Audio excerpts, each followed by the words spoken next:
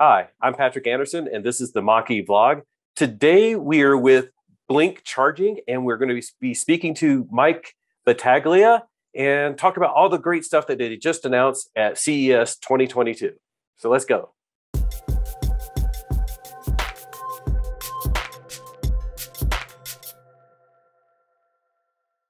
Okay, as you guys can all see, I'm here in Denver, Colorado. Mike is joining us from the booth at CES in Las Vegas. We couldn't go because of COVID. I actually uh, recovering from COVID right now, but I'm all good. But uh, thanks so much for joining us, Mike. Patrick, my pleasure. Thank you for having me. So I saw the press release. I, I saw the press conference that you guys had. It looks like you guys announced a ton of cool stuff at, at CES, from the consumer to the fleet and uh, you know commercial installations. So do you want to go into to just an overview of what you guys uh, announced at CES?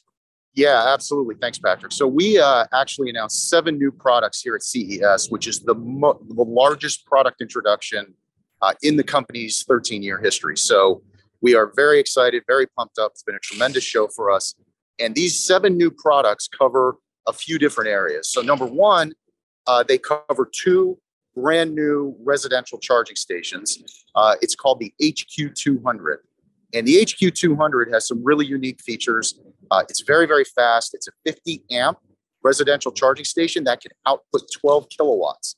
So that's about as fast as uh, a, a, residential uh, charging station uh, can can kind of push the limit. Uh, those chargers are also uh, bidirectional, so they support they support plug and charge and also vehicle to grid. That's so awesome. Really exciting, really exciting features in the residential stations. Uh, then we announced our Vision IQ 200, which incorporates EV charging with visual advertising displays. We have our new MQ 200, which is our solution for fleets across the country. And that is coupled with uh, our new software suite. So, our new software suite includes a fleet management software for fleet depots, fleet managers, and drivers. And then on the consumer side, we're launching an entirely new network mid-year along with a new consumer app. So ton of stuff that that that hit the plate. That's very cool. Of course, uh, we have a Mach-E, so we're excited by the home chargers and the uh, the HQ200 Advanced. That's the one that has like Wi-Fi connectivity. So in addition to vehicle to grid, it also has uh, like connections with Alexa, Google Assistant, Siri. Sounds like it's really cool and very geared toward you know connectivity and making it easier for the consumer.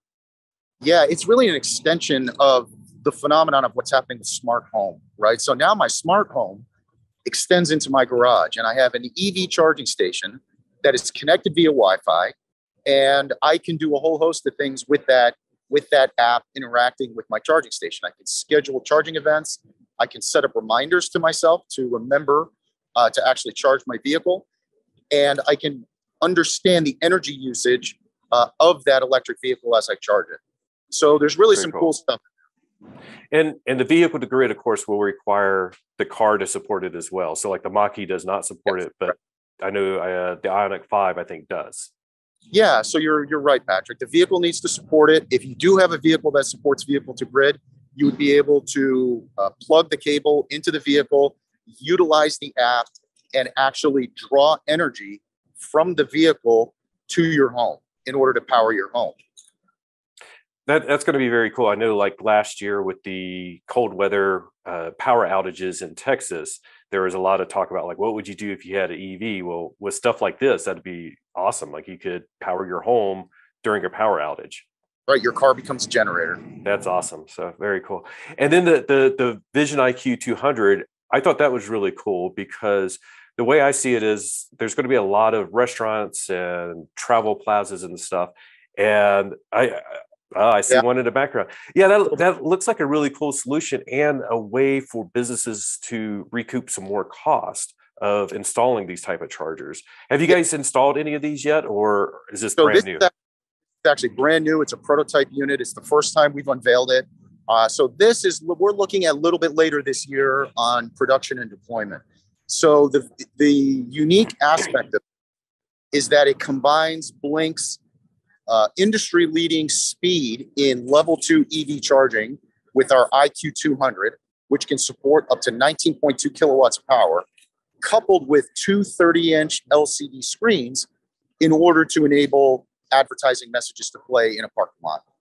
Right. So, and and I would imagine like at a shopping center, it could say like you know stop into restaurant blah and we're, we're running this special or check out the clothing store those type of things. Is that is that what yeah. you're envisioning? That's exactly it. Or maybe i'm at a warehouse club and i've parked in the parking lot i'm charging my vehicle and all the specials for that warehouse club are rolling through on the lcd screen. It's that sounds pretty smart. Like I, I i did a survey a while ago and we were talking about what type of features we want to see at charging stations and there was a, there was some discussion and debate like would that be useful? And i think it would be really useful. Like you pull in your you need a charge you want to see what's going on in that local area if there's any specials and i think that sounds like a, a genius idea. Yeah absolutely. Now you guys are also uh, coming out with a 50 kilowatt wall charger as it's as it's called.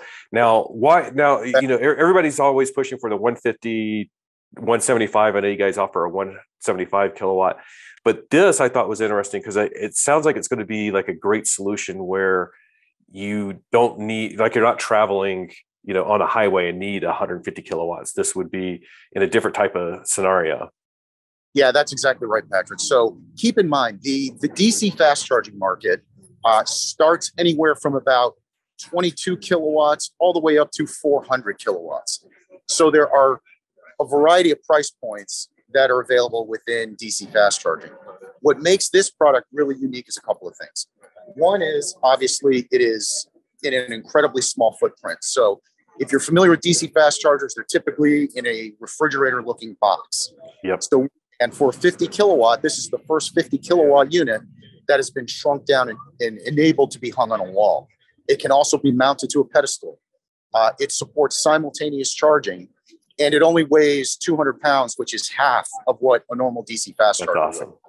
Yeah, that sounds like that could be like a great like middle ground for a lot of installations, especially in urban areas where you you want something a bit faster than level two, but you don't need the 150 kilowatts. Um, yeah, it, it, exactly. So think about it this way: uh, a 150 kilowatt DC fast charger probably will run you somewhere around sixty thousand dollars this unit behind me here at 50 kilowatts is going to be well under $20,000 when we launch it in a few months. Wow, so, that's awesome. Yeah, very, very different economics. Yeah, because I think that's one of the things that people don't realize is uh, they just want to see the, the fast charging everywhere, but they don't realize the expense behind it. And Correct. businesses to put stuff like this in, it's uh, you know very cost prohibitive. If you're saying it can only be a 300 kilowatt charger. So I, I think like this, it's like we're going to have like all a range of solutions that's going to be necessary to solve the charging problems. But, you know, we, we can envision this at a fast food restaurant or something where the dwell time's not quite as long, but you want uh, to get as much charge as possible in that time in a, in a in a reasonable price point. Yeah, now that you mentioned, I hadn't even thought about this before, but like if I was traveling on the road and I stopped at say like a Chili's or a sit down restaurant, um, I don't necessarily want the fast charging because like I would plug in and before the water was delivered to my table, it'd be time to move the car. But like a 50 exactly. kilowatt, like I could plug in and you know enjoy my meal, and when I'm done, it's done. Yep, exactly. And and the restaurant doesn't have to spend the extra cost for for that charging. So that sounds really cool yeah, you save not only on the charger cost, but you also save on the installation cost as well. Yeah, I bet. I bet.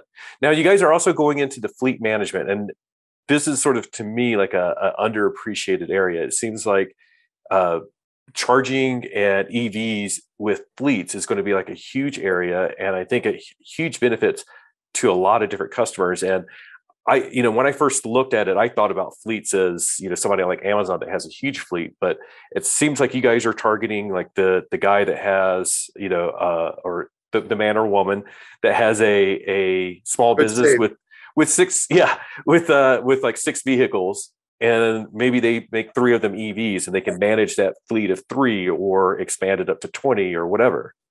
Yeah, good point. So the the products behind me are our new uh, MQ200 fleet charger. So this is also a 50 uh, uh, a 50 amp charger, outputs 12 kilowatts.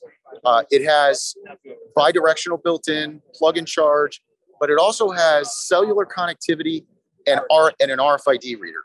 So this is able to serve any size fleet. So whether it is a small municipal fleet or whether it is Amazon, these these products are designed to be deployed at scale. And what couples with this and what we've what we've deployed with this is our new fleet management software. So that is a yeah. cloud-based system that allows a fleet manager and a fleet driver not only to communicate but to understand every aspect of vehicle charging, uh, route optimization, cost optimization uh, within within the fleet platform. That's very cool. And I see somebody's pulling on the cable management back there. That's another cool feature. Yeah. It is in action. So yeah, that's very cool. Yeah, like I said, it's like uh, I, you know, I thought about fleets as being huge, but this is, I think, this could be a huge cost savings, not only just to switch to EVs, but then to have the fleet management layered on top of it. You get a lot more efficiencies, like when you can see and manage everything at one central console. So that's that sounds like it's going to be huge for small business owners once they see the benefit. No question. I can look at analytics by depot. I can look at them by vehicle. I can look at them by driver. So it's really a powerful system that gives me a ton of information in order to to better manage my fleet of vehicles. So you know, just looking at everything, you guys have like a great portfolio from the consumer uh, to commercial installations to fleet how are you guys getting out there getting in front of customers and what is the response? It's uh, you know i heard one guy that i know that does uh, ev installations he says that it's like it's ticking up and up. Like everybody that's building a new office building or comp whatever complex is like we got to put in ev charging. So how is the response and how are you guys getting out there in front of people? Yeah it's one of my favorite questions patrick. So when i joined blink about 18 months ago uh, we had about 63 employees at the company Today we have over 200, wow. and probably by mid year we're going to have 300. So you can imagine that our growth curve uh, is uh, in sync with that, uh, with those hires, right? So, uh, number one, we have an amazing product portfolio. Number two, we are the most flexible EV charging company uh, in the industry. What do I mean by that? It means that we not only have a whole range of hardware that we can offer someone, but more importantly, we have different business models to fit whatever a location is looking for. So, an example is we have someone can buy equipment from us if they'd like to purchase it outright.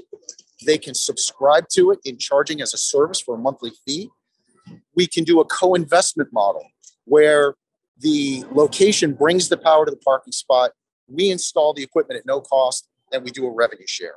Oh, or, or if the, the final one is if the location really just wants it as an amenity and they want someone else to manage and operate the entire thing from end to end, we will actually pay for the entire installation process as well as the charger and we will own and operate that charging station as an amenity on that property. So no one else can do this. We're completely vertically integrated uh, between the hardware, the software, uh, and design and manufacturing, et cetera. So that message is really starting to resonate and really the phone's ringing off the hook to be honest. Very cool. We'll put uh, your contact info down there. Not yours personally but for blink. And we'll we'll you know i i'm excited by all the charging that's coming out and all the charging solutions.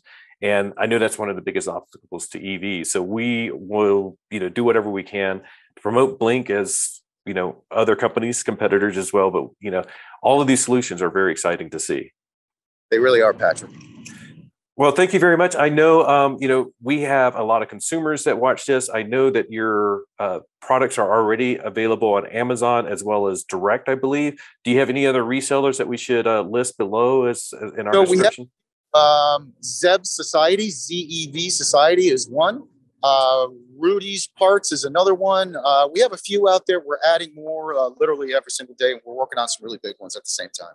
Awesome. So everybody check the description. I'll put a link or I'll put a link to Blink Charging where you can find all of these resellers for the consumer products. And if you're interested in any of the other products, we'll have that contact info below. So thanks so much uh, for joining us, Mike. Maybe next year we'll be out there in person or we'll see you at the New York Auto Show or somewhere. So thanks again for joining us. Great. Thanks, Patrick. Take care. All right. Thanks.